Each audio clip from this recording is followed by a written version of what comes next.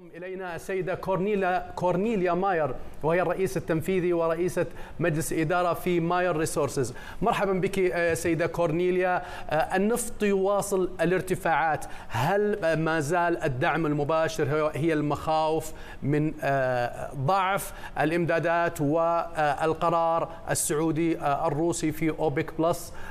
بغض النظر عن عن الطلب ومدى تأثير الطلب.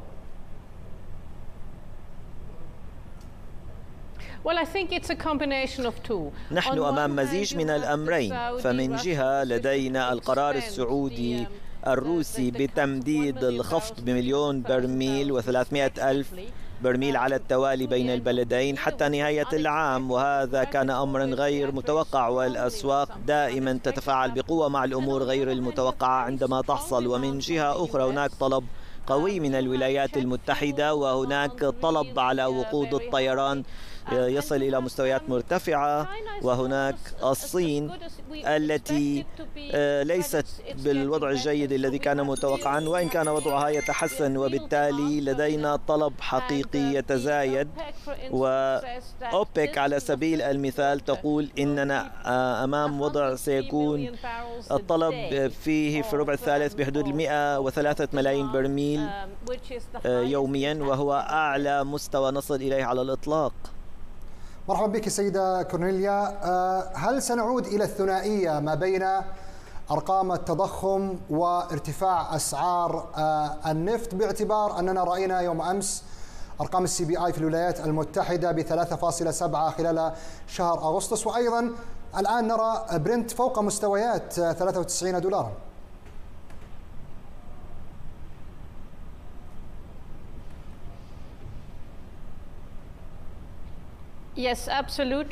نعم هذا صحيح تماما.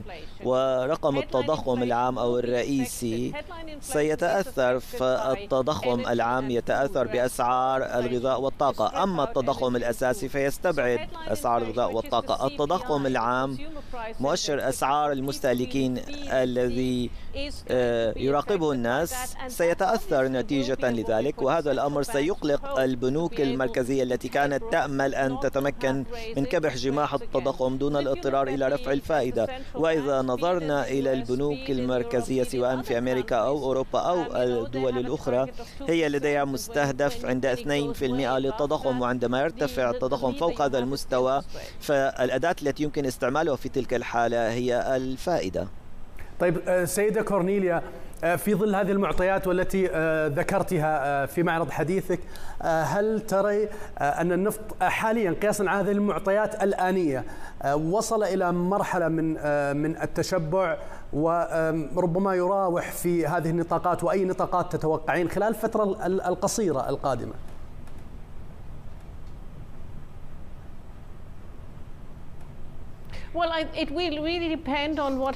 الأمر سيتوقف على ما سيحصل في الطلب. إذا ارتفع الطلب وإذا كان بالقوة التي تعتقدها أوبك فسيحصل آه، ارتفاع في السعر. لكن يجب أن لا ننسى آه، ما قاله الامير عبد العزيز بن سلمان وهو القائد الفعلي لأوبك إلى جانب روسيا التي آه، تقود إلى مع السعودية أوبك بلس. هما قالا إنهما يستطيعان إدخال التعديلات وأتوقع للمملكة أن تدخل تعديلات إذا تغير وضع السوق واستدعى ذلك. وبالتالي الخفض بمليون برميل يوميا آه، ناتج عن أننا لا نعلم إلى أين تتجه الصين. ودعنا لا ننسى أنك إذا كنت مكان السعودية وروسيا فلديك زبونان هامان آه، هما الصين والهند وإذا كنت تخشى بخصوص الوضع الاقتصادي في أكبر مستورد لديك أي الصين فساعتها يجب أن تتوخى الحذر وأن تتمتع بالحيطة برأيك الشخصي هل من الممكن أن نرى رقما من ثلاثة خانات بالنسبة لأسعار النفط قبل نهاية هذا العام؟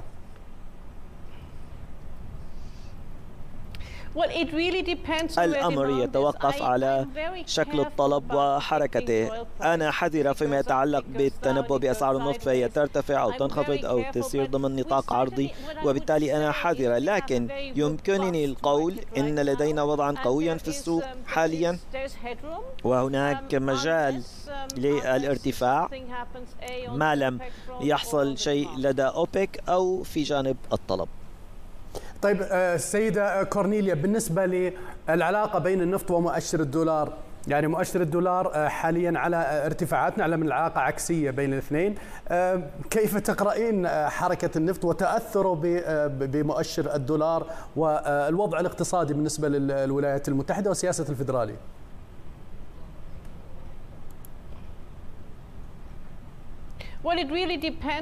الأمر يتوقف على ما سيفعله الفيدرالي وسنراقب إلى أين سيسير الفيدرالي نظرا لما يحصل من ارتفاع في أسعار النفط وتأثير ذلك على التضخم. ولكن حاليا لدينا أداء اقتصادي جيد في أمريكا وهذا يدعم الدولار ولدينا أيضا عجز في سوق النفط وهذا الأمر يدعم أسعار النفط وبالتالي العلاقة العكسية في الوقت الحاضر قائمة طالما أننا في الوضع الحالي.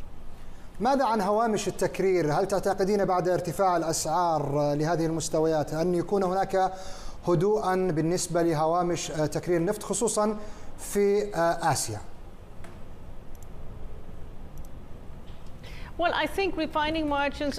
هوامش التكرير قد ترتفع لكن هوامش التكرير حاليا ترتبط بوضع العرض والطلب وهذا يؤثر عليها. إذا حاليا هوامش التكرير قوية وهي ستظل عند المستوى الحالي ونحن يجب أن نرى ما الذي سيحصل في الشهر المقبل لنرى إلى أين ستسير الأمور. طيب سيدة كورنيليا الرهانات كانت على ارتفاع الطلب بالنسبة لي على صعيد الطلب ارتفاع الطلب من الصين لكن الإشارات كل الإشارات القادمة خلال الفترة الأخيرة ليست إشارات إيجابية حتى يعني ليس بالضرورة نقول أنها سلبية. لكن الآن ربما الرهان كما ذكرتي هو على الاقتصاد الأمريكي. هل ترى أن الطلب في الولايات المتحدة سيتنامى في ظل يعني البيانات اللي صدرت يوم أمس ارتفاع واردات الولايات المتحدة إلى مليونين وستمائة وخمسين ألف برميل خلال هذه الفترة؟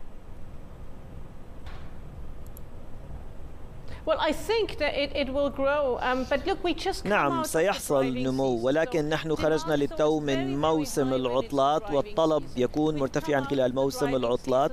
موسم العطلات انتهى وهذا سيخفف الطلب قليلا لكن الناس يسافرون من جديد وبالتالي هناك طلب على وقود الطيران وهناك عطلة عيد الشكر في أمريكا وهي تشمل الكثير من السفر وبالتالي الطلب مرتفع. وكما تقولون لا نعلم إلى أين ست تسير الصين انظر إلى القطاع العقاري في أمريكا والمؤشرات الصادرة من الصين هي لا تعطي إشارات تدعو للثقة وبالنسبة للمملكة العربية السعودية وروسيا هذه عوامل مهمة فهذه سوق كبيرة بالنسبة لهما أليس كذلك؟